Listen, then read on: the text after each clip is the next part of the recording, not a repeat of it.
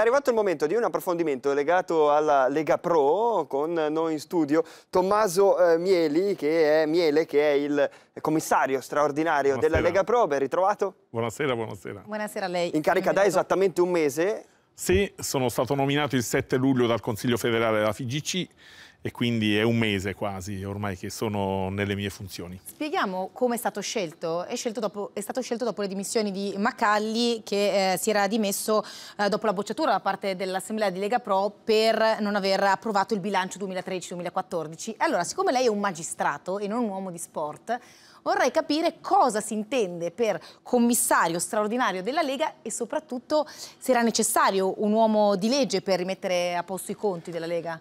Ma guardi, intanto un periodo di commissariamento viene dopo, ecco lei ha ricordato, le dimissioni del presidente Macalli, quindi dopo che la governance ordinaria viene meno, c'è un un periodo transitorio sicuramente in cui il periodo di commissariamento deve eh, creare una sorta di continuità nella gestione, appunto in questo caso della Lega Pro, e perché sono stato scelto? Io credo, io, non, io ripeto, sono un uomo di legge, io sono un magistrato, quindi eh, sono stato scelto forse perché si voleva anche lanciare un segnale dopo eh, gli eventi che sono accaduti in Lega Pro. Infatti credo che ecco, eh, la stampa lo ha messo molto in evidenza subito dopo la mia nomina, il fatto che sia stato scelto un magistrato eh, credo che abbia anche un significato, un messaggio per ehm, rilanciare e risanare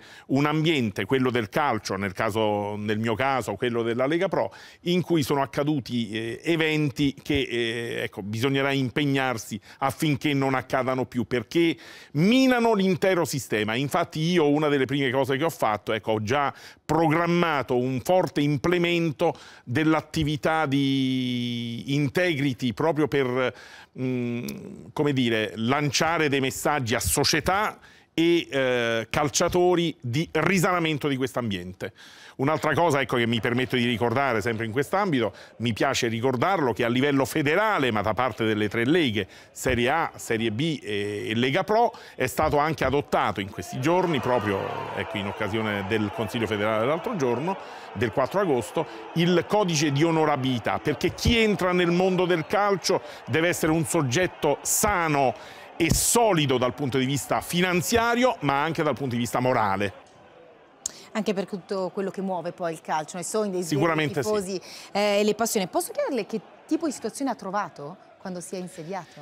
Ma guardi, sicuramente un, eh, un, commissariamento interviene perché eh, c'è stato qualcosa che non ha assicurato poi la continuità. Nel caso di specie, ecco, una delle mission fondamentali eh, del mio mandato è quella di approvare il bilancio perché il bilancio 2013-2014 della Lega Pro non è stato approvato. Quindi questa è sicuramente una delle, delle mission fondamentali del mio mandato, insieme a quella di ricreare le condizioni per eh, svolgere le elezioni per la nuova governance. Io ho mandato a termine perché fino al 31 ottobre spero di riuscire a portare a termine le due mission fondamentali entro questo periodo, ma nel frattempo, non nascondo, bisogna anche assicurare la continuità ordinaria certo. della Lega Pro. Non ultima, io non appena insediato ho dovuto, come dire, provvedere immediatamente a tutte le incombenze che erano legate alle iscrizioni poi alla fase dei ripescaggi, ora siamo nella formazione anche entriamo, dei gironi. Entriamo allora nello specifico perché abbiamo detto che sarà un'annata di grande cambiamento per quanto riguarda la Lega Pro, questa riforma del campionato, una riduzione che arriva di squadre rispetto a quanto deciso due stagioni fa. È anche un po' quindi un fallimento di quello che era stato fatto? Ma guardi, io non parlerei di fallimento perché giustamente è una selezione che è avvenuta quasi naturalmente. Quest'anno ci ritroviamo con un format ad oggi dico 53 squadre, dopo i ripescaggi deliberati eh, in occasione del Consiglio federale del, dell'altro ieri, di martedì 4 agosto. 53 squadre, c'è però una, una 54esima squadra che va a sostituire una uh, squadra, il Castiglione, che non, uh, ha ritenuto di non iscriversi, quindi in sostituzione verrà un'altra squadra eh, dai, serie, dalla serie minore e quindi si formerà un format di 54 squadre, io presumo, al netto di quelli che sono gli eventi della giustizia sportiva, perché non bisogna dimenticare che ci sono una serie di eh, fatti all'esame della giustizia sportiva. Però ad oggi posso dire che abbiamo sostanzialmente 53 più una che sarà, verrà in sostituzione, 54 squadre, quindi tre gironi da 18 presumibilmente. Noi siamo sicuramente, come si dice, sul pezzo, quindi vorrei dire, approfittare anche per dire non siamo in ritardo, siamo, sia con riferimento alla formazione dei gironi, sia con riferimento alla, alla presentazione del calendario, sicuramente siamo legati ai tempi della giustizia sportiva e anche della Serie B, ma non siamo in ritardo, quindi stiamo monitorando la situazione situazione e quindi escludo che il campionato, come pure è stato detto magari da, da qualche fonte di informazione, eh, escludo assolutamente che quindi il campionato possa subire uno slittamento. Assolutamente no, io credo che il 6 settembre si possa partire. Sicuramente importante come puntualizzazione, intanto stiamo vedendo le immagini del Como che forse è una delle, delle pagine più belle per quanto riguarda eh. il, il sì. calcio in, in, questa, in, questa, stagione. Parlando invece delle sì. pagine me, meno belle, eh, certo. meno piacevoli, quelle che abbiamo vissuto nell'estate appena trascorsa. Sì. Eh, vorrei capire da lei operativamente se è stato preso in esame ovviamente il caso e quali sono ehm, i, i, mezzi che avete a disposizione per cercare di contrastare questo tipo di, di situazioni? Ma guardi, al di là dell'aspetto sanzionatorio che è di competenza a livello federale poi degli organi di giustizia sportiva, eh, la Lega Pro, eh, per quanto ci riguarda in particolare, ecco, non può che fare una forte azione e io sto dedicando molto impegno e molte energie in questo, perché da magistrato vorrei lasciare il segno proprio su questo eh, una forte azione di incentivazione, come dicevo prima, del, eh, dell'azione di integrity, cioè di sensibilizzazione dei presidenti delle società e dei calciatori.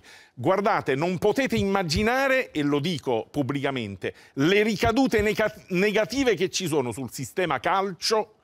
Io sono reduce anche in giornata da alcune trattative per diritti televisivi, perché chiaramente ecco, se diventa un prodotto inquinato non è più vendibile, non ha più valore, quindi veramente il sistema va difeso, risanato, perché solo in questo modo si salva il sistema calcio. Quindi io sono per la fissazione di regole severe, sensibilizzazione eh, ai massimi livelli di calciatori, di società e poi sicuramente anche la, la, fase sanzionatoria deve avere il suo corso perché bisogna essere severi poi nell'applicazione delle regole. Solo così si salva il sistema e soprattutto solo così non si tradisce la fiducia dei milioni di tifosi che ripongono la loro attenzione e la loro fede sportiva nel calcio. Tolleranza zero. Tolleranza zero, io sono per la tolleranza zero. Intanto è arrivata anche una notizia importante, interessante, cioè Arrigoni che è stato eletto il nuovo, nuovo CT insomma, della rappresentazione. Sì, io proprio ieri ecco, l'ho incontrato,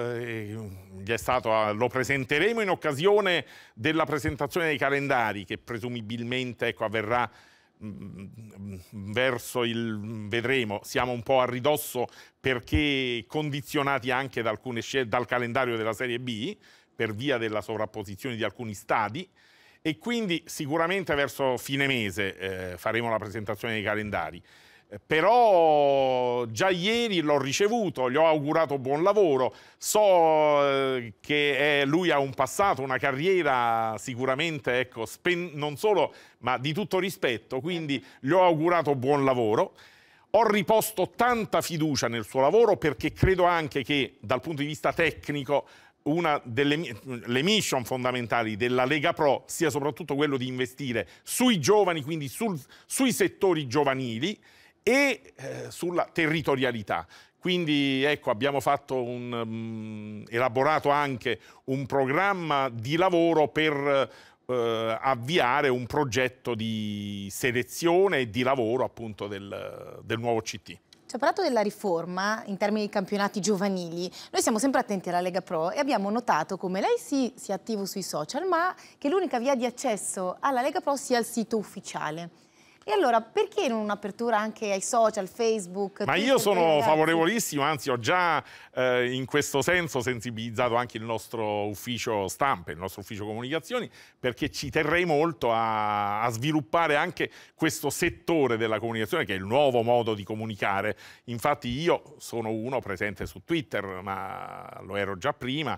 Eh, nella mia funzione ancora attuale certo. di presidente dell'Associazione Magistrati della Corte dei Conti e eh, sicuramente quello è un modo di, di, di, comunicare che io prediligo anche perché avviene in tempo reale e, e soprattutto è, è, un modo per comunicare con immediatezza, per lanciare con immediatezza dei, dei messaggi e dei segnali, della, la, per veicolare nella maniera più celere possibile la comunicazione. Quindi non ci aspettiamo una Lega Pro più giovane, più aperta al pubblico con Twitter, Facebook. Soprattutto più vitale, più... Eh, trasparente, non perché io non assolutamente, io ho ringraziato anche la governance che mi ha preceduto per il lavoro svolto, però quindi io assolutamente, io vorrei superare e credo veramente di sarei soddisfatto eh, nell'assolvere il mio mandato se riuscissi a superare anche quelle situazioni, ahimè, di divergenze, mm -hmm. di contrasti a livello di società, ma anche a livello ecco, proprio di ambiente della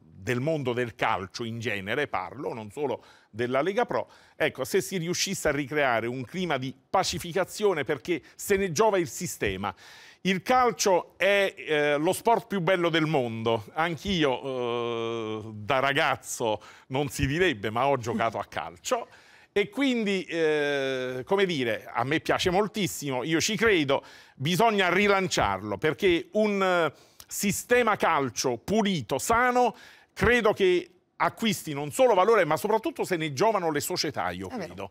Perché un mondo del calcio sano, un sistema calcio sano, credo che abbia una ricaduta in termini positivi nei confronti de dei tifosi soprattutto, del, delle società, dei calciatori e soprattutto eh, credo che la Lega Pro possa essere veramente il bacino per il lancio dei giovani. Noi andiamo ad attingere spesso al mercato dei calciatori stranieri. Io credo che ecco, in Lega Pro ci siano tante belle promesse, tante belle speranze e io credo di fare un buon lavoro anche in questo. E avrà tanto lavoro, eh? Noi sicuramente sì. Lavoro, le idee allora. ci sono, le basi ci sono, quindi sicuramente non ci resta che augurare buon lavoro. Allora. Grazie, ce n'è bisogno, perché di lavoro ce n'è tanto e ci sono anche tanti problemi che richiedono tanto impegno e ce lo mettiamo tutto, ma speriamo anche tanta fortuna. Allora in bocca al lupo grazie. allora. Grazie, grazie. Grazie, grazie, grazie, grazie ancora a Tommaso Miele, commissario straordinario della Lega Pro. Ci salutiamo noi invece Tommaso, sì. ci fermiamo qualche istante, torniamo qui 16.30 tra pochissimo per una nuova edizione del nostro telegiornale. Restate qui.